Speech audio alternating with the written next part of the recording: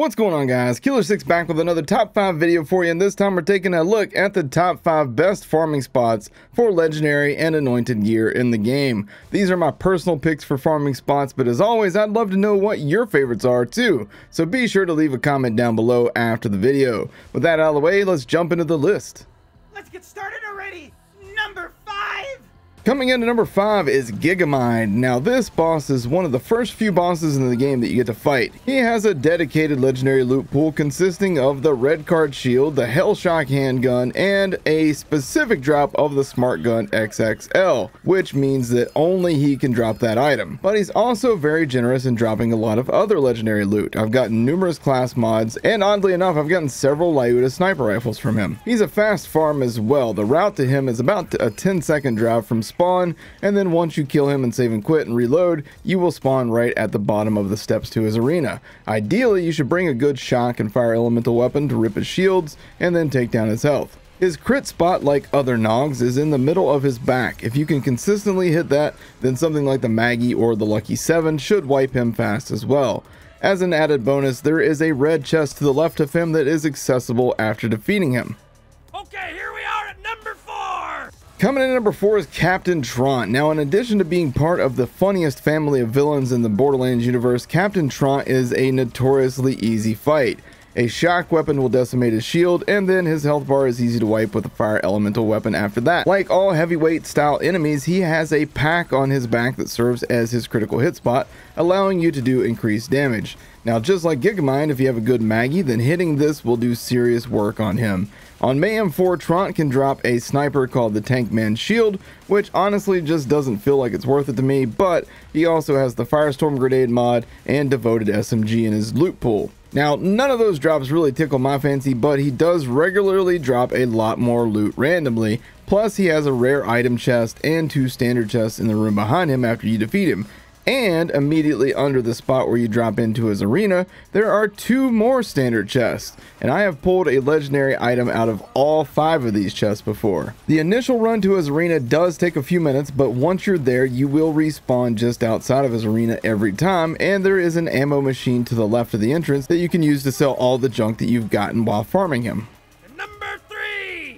Number 3! Coming in number three, Graveward. Now, I know there's going to be some people out there who are confused about why this one isn't number one, but you're going to see why here in a minute.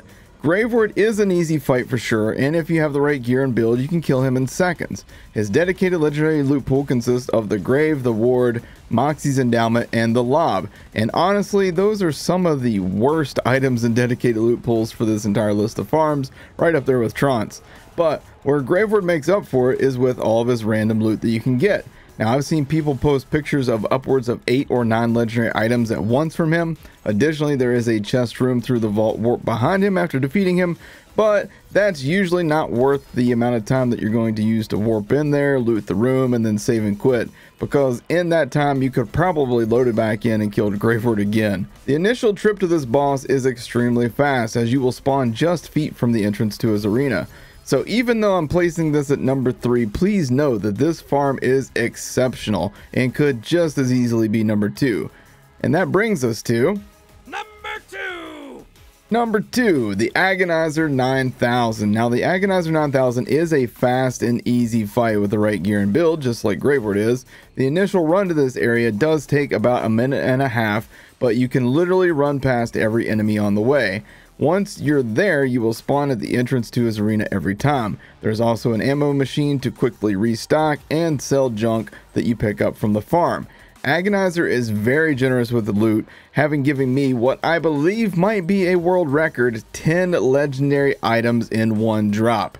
And with the most recent update, they fixed the loot from being able to fall through his floor, which was a problem previously.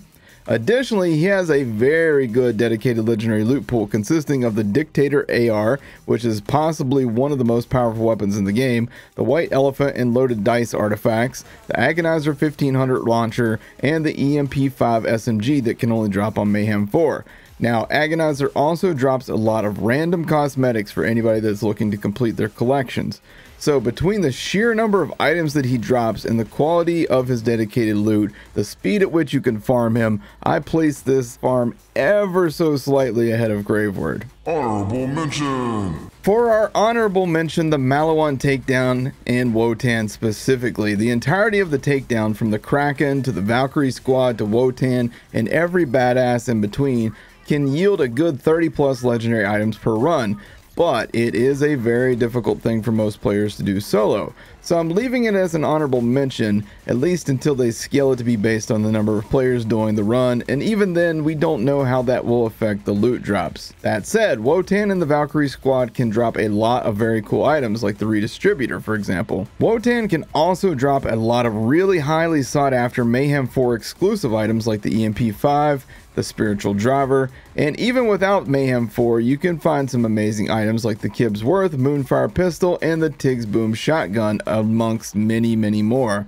And of course, there's just a general loot explosion of gear after beating Wotan. And in there, I've gotten several very good anointed items, so make sure you guys dig carefully through that loot pool. A bonus honorable mention goes to the entirety of the new Handsome Jackpot DLC, but most especially to Freddy, who you can farm for a lot of random loot, and then fast travel back to the save station at the beginning of his area and re-farm him over and over without even having to save and quit, making this an ideal farm for console players. But since it's a DLC, I left it out of the main list since I know some players might not own that, but you really should consider buying it as the loot flows like water in that DLC. Finally, coming in number one is the Slaughter Shaft. Now, I know this one might be a tad bit controversial considering what I just said about the honorable mention, but I know not everybody can solo the Slaughter Shaft on Mayhem 4, but hear me out. Just doing this, even on just true Vault Hunter mode without any Mayhem difficulty at all, will result in a large number of legendary drops.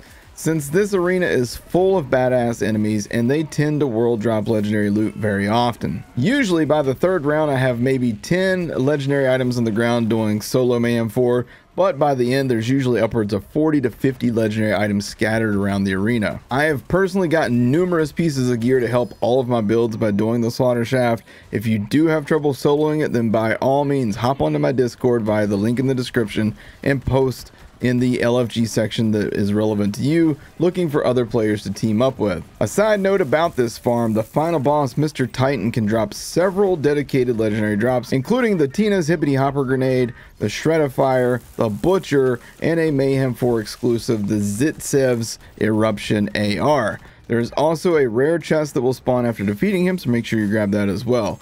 Now, the reason that I chose the Slaughter Shaft and not the Slaughter Star or the Cistern of Slaughter is that generally by the end of those, you have maybe 5 to 10 legendary drops on Mayhem 4.